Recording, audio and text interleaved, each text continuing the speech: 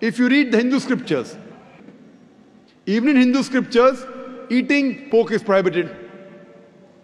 It's mentioned in Manusmriti that a Brahmin, a twice born, should not eat cock or onion or dung heap pig.